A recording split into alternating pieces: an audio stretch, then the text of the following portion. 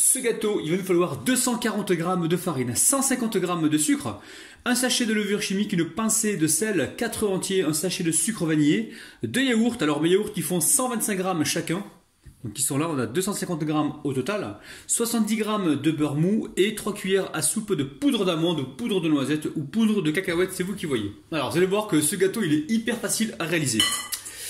Alors, dans le saladier que vous connaissez tous les amis, on va mettre le beurre. Donc le beurre je l'ai sorti euh, largement avant de commencer la recette. Donc sortez-le bien avant pour qu'il soit mou, sinon vous le passez un petit peu au, euh, micro-ondes hein, si vous voulez. Pas longtemps, hein, juste 5 secondes pour qu'il soit bien... Euh, pour qu'il soit bien, bien mou. Ah les amis, j'ai une histoire à vous raconter là sur des produits, enfin sur des ingrédients que j'avais pré-pesés. J'ai pesé des ingrédients une fois, j'étais faire mes courses, et entre temps j'ai de la famille qui est arrivée à la maison avec des enfants et tout ça. Ils ont vu que j'avais les ingrédients posés sur le plan de travail, ils pensaient que c'était l'apéro les amis. Ils ont commencé à taper dedans, dans le chocolat, dans, différents ingrédients qu'il y avait les amis. Et à la fin, je suis rentré pour faire euh, donc ma recette et euh, heureusement que je m'en suis rendu compte avant parce que le chocolat il avait vachement diminué. Et j'ai dû tout repeser les amis. Donc voilà, ne faites jamais ça. Bon allez, on arrête de parler. Donc là, on va mettre le sucre vanillé également. Euh, on mélange. Alors on mélange pour crémer le tout. Hein. Alors vous pouvez le faire au robot si vous voulez. Je voulais le faire au robot au départ. Après je me suis dit donc mes abonnés euh, ils ont peut-être pas tous des, robots. Ils sont peut-être pas tous équipés. Donc euh, je vais faire comme eux à la main. Ici je mets de la fleur de sel. Vous pouvez mettre du sel classique. Hein. Une bonne pincée. Donc là, je mélange les deux éléments. Il n'y a pas besoin forcément de, fouetter pendant, pendant des minutes. Il hein. faut juste mélanger donc l'ensemble pour obtenir une sorte de pâte, de pâte lisse. De pâte homogène, on va dire. là, c'est quasiment bon. Hein. Une fois que ça s'est rassemblé comme ça, on va pouvoir tout de suite y mettre les œufs. Donc les œufs, normalement, il faudrait les mettre un à un, mais chez Cuisine Rapide, on n'a pas le temps. On va les mettre d'un coup comme ça. Et là, on va mélanger. Alors surtout ne vous inquiétez pas hein, si vous voyez qu'il y a des petits grumeaux de, beurre. Euh, ça va se mélanger une fois qu'on mettra donc la farine. Tout va bien se mélanger. Donc pas de panique. Hein. Alors une fois qu'on a fait ça, ici je viens mettre mes deux yaourts nature. Alors, deux yaourts nature, ils font 125 grammes chacun, parce que je sais que dans certains pays, ils font que 100 grammes les pots de yaourt. Donc là, c'est 125 grammes. Donc euh, au total, on a deux pots, donc 250 grammes, les amis. Alors, yaourt nature, vous pouvez prendre du yaourt à la vanille hein, si vous voulez, mais évitez les yaourts aux fruits parce que ça risque de, colorer la pâte. Si vous prenez par exemple du, yaourt à la fraise, vous risquez de vous retrouver avec une pâte légèrement rose et euh, pas jolie. Alors, une fois qu'on a mis nos yaourts. Alors, si, vous n'avez pas de yaourt, dans le pire des cas, vous mettez du lait, les amis, il n'y a pas de problème, mais bon, le yaourt, ça apporte un petit plus. Donc là, on mélange rapidement et aussitôt, on va pouvoir y mettre la poudre d'amande. Alors, poudre d'amande, souvent vous me demandez dans les commentaires par quoi je peux la remplacer. Ah bah les amis, par euh, notre poudre en pistache, euh, cacahuètes, noisettes, c'est vous qui voyez, noix aussi, il hein, n'y a pas de problème. Donc là j'ai mis ma poudre d'amande. Une fois qu'on a fait ça, on va pouvoir donc tamiser la farine et la levure chimique. Alors, dans la farine, je viens mettre ma levure chimique. Vous pouvez mettre du bicarbonate hein, si vous voulez, bicarbonate de soude, même quantité. Donc là, on a 11 grammes. Le sachet, il fait 11 grammes. Donc là, je mélange tout de suite avec la farine pour bien le répartir, les amis. Pour espérer avoir un gâteau qui gonfle droit. C'est pas souvent le cas parce que des fois, je mélange la, levure chimique avec euh, la farine et j'ai pas euh, le gâteau qui gonfle droit. Donc là, on va croiser les droits. Les droits. Les doigts. Oh là là, Rabinou, t'es fatigué ou quoi? Tu peux pas mettre ça sur le dos du ramadan parce que c'est terminé. Allez, on met tout de suite donc euh, la farine et la levure chimique directement dans le tamis et on tamise. Rien de plus facile. Entre temps les amis, vous pensez à préchauffer votre four. Hein. Allez, on mélange bien comme il faut. Donc le four les amis est en train de préchauffer à 175 degrés. Et je pense qu'on est parti pour une cuisson d'environ 25 à 30 minutes. Il hein, faudra surveiller. Des fois 20 minutes les amis, hein, ça dépend des fours. Il y a des fours qui sont quand même plus puissants, qui marchent différemment ils peuvent euh, euh, vous surprendre au niveau de la cuisson. Donc c'est pour ça qu'à partir de 20 minutes, voire 18 minutes, commencez à vérifier. Hein. Et si vous voyez que ça prend trop de coloration, vous allez pouvoir mettre une feuille soit d'aluminium dessus pour essayer de protéger le, dessus du gâteau, ou soit vous mettez euh, donc un papier cuisson dessus. Alors les amis, la pâte, elle est nickel. Allez, je verse toute ma pâte dans mon moule qui fait environ 23-24 cm. Donc j'ai beurré fariné les amis, hein, très important. Donc je vais encore vous répéter, le four est en train de préchauffer à 175 degrés. Et je pense qu'on est parti pour une cuisson d'environ 20-25 minutes, voire 30 minutes, faudra surveiller les amis. Je vous dirai donc le temps exact juste après. Allez, direction le four. Alors la famille, dès la sortie du four, aussitôt vous démoulez votre gâteau. Pourquoi? Parce que comme il va gonfler un petit peu, le but du jeu maintenant c'est de l'aplatir pour avoir le moins de pertes possible. Donc le gâteau se démoule facilement. Ici sur les côtés, on peut toujours retirer l'excédent euh, de farine et on va le laisser complètement refroidir. Mais surtout quand, quand il sort du four, vous le démoulez aussitôt pour avoir donc cette surface. Alors pour réaliser cette crème au chocolat qui est ultra facile, il va nous falloir du mascarpone, de la crème liquide entière, du sucre glace, du chocolat. Vous avez le détail des ingrédients juste en dessous de la vidéo dans la barre d'infos. Alors très simple, pour réaliser donc le sirop, il va nous falloir 20 centilitres d'eau, donc là on a 200 grammes d'eau les amis. On va, on va récupérer 2 cuillères à soupe ou une cuillère à soupe de vanille liquide. Et euh, j'ai 50 grammes de sucre. Alors, à la place de la vanille liquide, on peut mettre des zestes d'orange ou de citron. Allez, on prépare le sirop. Donc là, je mets la vanille liquide avec le sucre. Et j'amène ça à bouillir, les amis. Écoutez-moi bien, les amis. Pas plus de 2 minutes. Grand maxi 2 minutes. On peut laisser bouillir une minute, mais grand maxi 2 minutes. Pas au-delà. Hein.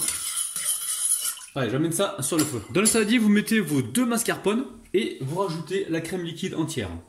Alors, pour que ça monte bien, les amis, c'est important que tout soit bien froid. Hein. Donc laissez pas à température ambiante, ça ne montera pas. Il faut que ce soit bien bien froid. J'en profite pour ajouter un petit peu de vanille, hein. c'était pas prévu, mais c'est pas grave. Très peu. Et je vais monter ça donc euh, en chantilly. Alors bien évidemment, on n'oublie pas le sucre glace tamisé. Hein. Vous le passez au tamis hein, pour que ce soit bien fin. Juste avant de monter ça donc en chantilly, je vais faire donc un petit mélange comme ça pour être sûr que ma chemise ne soit pas tachée. Donc je vais y aller progressivement pour éviter de m'en mettre partout. Là, ce que je veux, euh, c'est avoir d'abord un mélange homogène et ensuite le monter en chantilly. Donc ça prend quelques secondes. Alors là, maintenant, je vais pouvoir accélérer le truc. Je vais fouetter pendant environ, on va dire, euh, allez, jusqu'à ce que ça devienne complètement épais. Mais il euh, faudra pas fouetter trop trop longtemps au risque de, se retrouver avec du beurre. Donc là, on va fouetter. Je vous dirai donc le temps exact tout à l'heure. La famille, ça fait exactement 3 minutes hein, que, je, fouette. Hein. Ça fait 3 minutes, regardez-moi ça. Donc ça se tient bien. Maintenant, je vais mettre le chocolat à fondre, alors soit au bain-marie ou soit au micro-ondes. Alors idéalement, je vais pas le faire, mais idéalement, il faudrait mettre avec ce chocolat, il faudrait mettre une petite cuillère à soupe de beurre pour que ce soit bien fluide, de façon à ce que ça se mélange correctement. Moi, euh, je vais directement le faire comme ça. Donc mettre ça au micro-ondes. Dès que ça fond, on va venir faire le mélange. Alors la famille, là je trouve que mon chocolat il est un peu épais, hein. je l'ai mis à, fondre. Euh, je vais pas prendre de risque parce que le risque c'est au contact du froid de se retrouver avec euh, euh, de se retrouver avec quelque chose qui va bloquer. Alors pour éviter ça, je vais mettre une cuillère à soupe d'huile. Alors vous mettez l'huile hop, là, que vous avez à la maison. Ça va liquéfier un petit peu le, mélange. Et on va se retrouver avec quelque chose de plus fluide. Et ça va mieux se mélanger au, à la chantilly. Je vous conseille chez vous de faire ça, hein, les amis. Hein. Vous mettez soit une cuillère à soupe de beurre, ou soit vous mettez une cuillère à soupe d'huile. De toute façon, je vais vous le dire dans les commentaires. Donc là, vous voyez, c'est beaucoup plus fluide et ça va beaucoup mieux se mélanger. Allez. Là, l'idée, alors, l'idée, c'est de mettre bah, tout d'un coup, les amis. On va mettre tout sur le côté et on va mélanger comme si on faisait une mousse au chocolat. Je mets sur le côté, comme ceci. Alors la famille, j'ai bien envie de mettre une pointe de sel avec ça, parce que le, sel, ça, ça relève le, goût du chocolat. Je sais pas si je le fais les amis. Allez, hop, je vais le faire. Hop, petite euh, pointe de fleur de sel dedans. Et là, on mélange comme si on faisait une mousse au chocolat. Donc on peut mélanger au foie, il n'y a pas de problème. Hein. Alors il faut être assez rapide dans le mélange parce que le, chocolat, donc tiède au contact de la chantilly froide, va bloquer assez rapidement. Hein. Donc il vaut mieux que ça bloque avant que le mélange... Enfin, une fois que le, le mélange est fait. Hein. Si par hasard vous avez du mal avec euh, la spatule, parce que moi j'ai un peu de mal avec la spatule là, vous prenez le fouet, les amis, hop, et vous faites comme ça.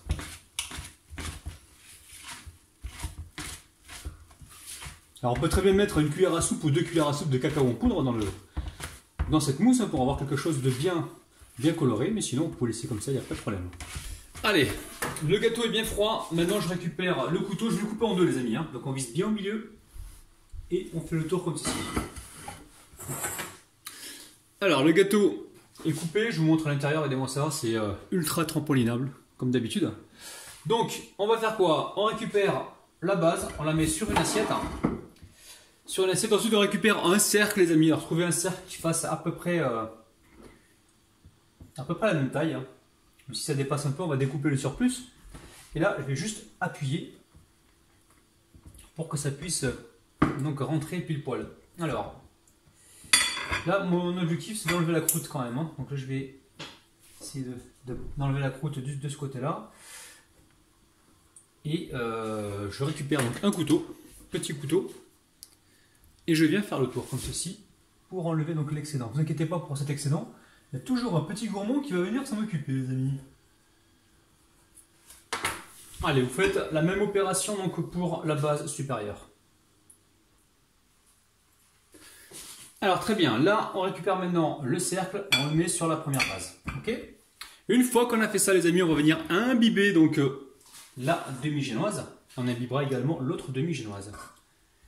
Alors là, j'ai fait un sirop vanillé, mais vous faites euh, un sirop au citron, un sirop à l'orange, vous faites ce que vous voulez les amis. Hein. Alors la famille, c'était pas prévu. Donc là, il me reste des cacahuètes, donc cacahuètes mixées et pas mixées, hein. il y a un mélange. Je vais mettre également des amandes. Là, j'avais un fond d'amandes, les amis, donc je vais les mettre avec. On va réaliser donc notre croustillant. Ensuite, qu'est-ce que j'ai encore? J'ai aussi de la noix de coco. Alors, noix de coco qui me reste. Hop, je vais en mettre une pincée. on rajoute de la gourmandise avec des restes, les amis, c'est incroyable. Et là, on mélange comme ceci. Et là, pour réaliser le croustillant, je vais récupérer ici environ 2 ou 3 cuillères à soupe de mousse. Alors, j'ai juste à mélanger pour avoir ma base. Alors évidemment, si vous reste du sablé, si vous reste de la crème dentelle, des céréales, vous mettez ce que vous avez, hein. il n'y a aucun problème. Hein. Des pépites de chocolat, vous pouvez très bien en mettre dedans. Les enfants adorent d'ailleurs les pépites de chocolat. Alors, je mets donc cette base directement sur la génoise et je vais venir l'étaler. Donc amusez-vous chez vous avec ce que vous avez déjà sur place les amis. Hein. Là j'ai récupéré ma spatule. Allez, je vais mettre encore un peu de mousse. Regardez-moi cette mousse, elle est magnifique. Hein. Il n'y a pas d'œuf dedans. Hein. Je vais en garder un petit peu pour la décoration du dessus. Bon, je pense que ça devrait aller là. Hein. Encore une petite cuillère. Hop là. Et là, gentiment, on vient comme ceci mélanger. Allez, je donne des coups de fourchette comme ça pour permettre au sirop de bien pénétrer dans le gâteau. J'aurais dû le faire aussi euh, tout à l'heure, donc pensez-y à vous chez vous à le faire pour aider le, sirop à bien se répandre partout. Je récupère mon sirop et j'imbibe comme ceci Allez, vous laissez sur le plan de travail environ 2 minutes hein, pour que ça absorbe bien comme il faut. Et ensuite, on pourra le retourner directement sur notre base au chocolat. Alors, on va pouvoir retourner directement le gâteau. Hop là, avec souplesse et délicatesse. On vient appuyer légèrement pour avoir quelque chose de bien droit. Allez, on passe un petit coup de balai. Hop, on nettoie la surface. Alors, une fois que vous avez fait ça, les amis, ici, vous récupérez 100 grammes environ de chocolat blanc. J'ai mis ça à fondre au micro-ondes. Donc maintenant, je vais juste venir mettre une goutte d'huile. Hop là, on a à une cuillère à café d'huile. On va mélanger ça justement pour permettre à ce glaçage de ne pas être trop dur en fait. Hein. Donc là, je mélange assez rapidement. Alors, si vous chauffez le chocolat blanc au micro-ondes, faites attention. Euh, ça peut brûler assez rapidement. Donc, euh, allez-y par étapes de 10-15 secondes et à chaque fois, vous enlevez du micro-ondes pour euh, mélanger comme ceci. Alors, maintenant je vais verser le chocolat blanc directement sur mon gâteau. Alors, on va essayer de tout récupérer quand même, hein, parce qu'on est quand même chez Rabinou, et Rabinou, euh, ils n'aiment pas le gaspillage. Maintenant, alors, soit je fais ça, avec souplesse et délicatesse, soit je l'étale à la spatule. Donc là, il est encore chaud, encore tiède. Je vais essayer de le faire comme ça. Bon, ça peut être périlleux, les amis. Hein. Je pense que je vais aller à la spatule. Là, j'ai besoin d'avoir juste une petite euh, euh, couche fine de chocolat, justement, pour pouvoir dresser dessus la mousse au chocolat et avoir un joli contraste. Alors là, une fois que c'est fait, les amis, ça part tout de suite au réfrigérateur. On a besoin que le chocolat refroidisse, de façon à ce qu'on puisse enchaîner la suite de la déco. Allez, j'amène ça tout de suite au frigo pendant environ, on va dire, 15-20 minutes. Et ensuite, donc, on pourra mettre nos petites rosaces. Alors, on va retirer le cercle. Alors, si vous n'avez pas de chalumeau pour retirer le cercle, vous pouvez prendre une éponge bien propre et la passer sur le contour du, euh, cercle pour le réchauffer. Sinon, vous prenez un séchoir aussi, hein. ça marche les amis, un séchoir. Ou sinon, comme moi, vous prenez hop un chalumeau, hop là, et je vais venir faire le tour. Je chauffe comme ça pour démouler le, gâteau. Je vais le démouler maintenant les amis, hein. vous allez comprendre pourquoi. je vais m'attaquer à la décoration. Bon, normalement c'est assez chaud. Et avec tendresse et délicatesse, je vais venir remonter le cercle.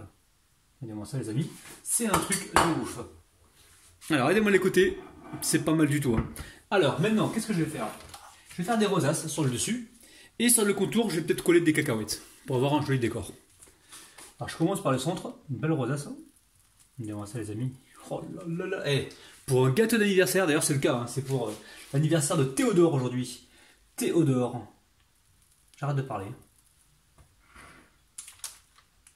Alors maintenant, je vais mettre un petit peu de, crème là sur la spatule. Et je vais venir étaler les côtés, sur les côtés. pardon. ça, c'est super beau les amis. Hein. Alors vous avez le choix, hein. soit vous le laissez comme ça, hein, ou soit vous venez mettre un contour avec euh, de la cacahuète grillée. Donc moi je vais hop là incliner le gâteau en espérant ne pas trop le l'abîmer. Et je fais couler comme ça ma décoration sur le contour. Alors pour finir ici, j'ai des bonbons au chocolat. Je vais venir en mettre un peu partout hein, dessus. Hop, hop. Je vais m'arrêter là parce qu'après on pourrait imaginer la décoration infinie hein, pour ce gâteau. J'essaie de mettre un petit peu de blanc pour faire ressortir donc euh, la rosace du dessus.